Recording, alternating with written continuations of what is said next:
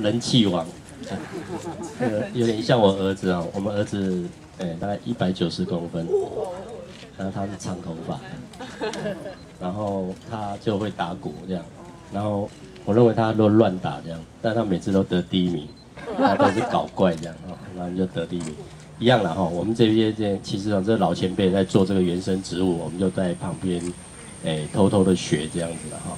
那这几年来，我们也就经过他们，至少是一个很基础的哈，一个基本功哈，都把我们教得很好。那我们就开始做这些事情。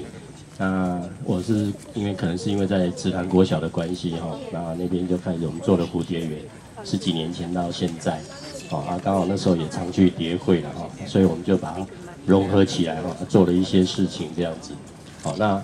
不小心是因为我们有一次写信给蔡队部长哈，然后就他就诶有做了一些回应哈，我们就是想是说，诶我是在一本书上面哈，在陈文寿的书上面看到是说，诶日本时代的时候我们新建非常多的蝴蝶，然后跑到茂林去，哦啊那一年二零零五年的时候要回来的时候是刚好大家在拍这个国家地理频道就要看到蝴蝶被车子撞到啊撞死掉，所以我们就想说写信给蔡队部长。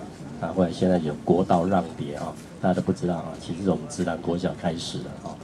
那我想我们就是做这件事情啊。老兵被他们在做的时候，我们有一些啊比较稍微讨喜的东西，我们就开始在做了哈。所以我们这次又开始做一些比较有生态的东西，小朋友喜欢的东西这样哈。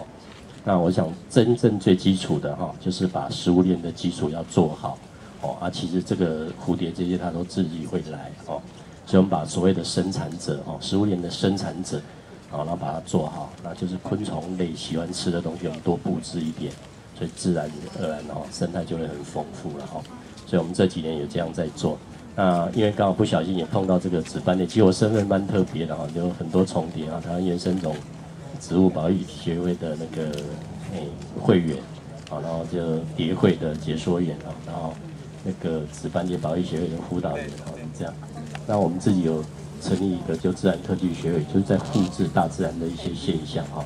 所以我们现在在碧潭那边在做一个蝴蝶谷，好，那如果你你以后还是有有有空闲的时间的话，就可以来一起来参加啊。我们在是复制一些自然现象的哈。所以我们把一个萤火虫区哦，你只要看得到一只，我们就刚刚把它变一千只。那如果说是那个地方是很棒的地方，我们就看到它是一个曲流，我们就把它做成蝴蝶谷。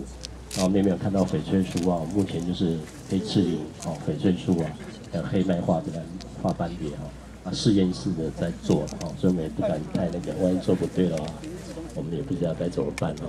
那我想我们这几年的经验，就是个人一个理论就是，你想要做生态的时候是没有创意的，一定要跟大自然做学习哦，所以我们要进入野地，跟到偏北。啊，去学习这些东西，有没有办法再把它复制？然后用我们人的一些一些理论啊，实际上的生态的一些理论原理，我们把它做出来。啊，欢迎大家了哈，那一起来。那我们今天有准备了大概呃六十几种，六我刚刚算一下，大概六十七种植物了哈。幼虫大概跟蛹合起来大概有三十多种哈。那我想这个很难得一次看得到。好，那我想我们今天就来共襄盛举，谢谢大家。啊。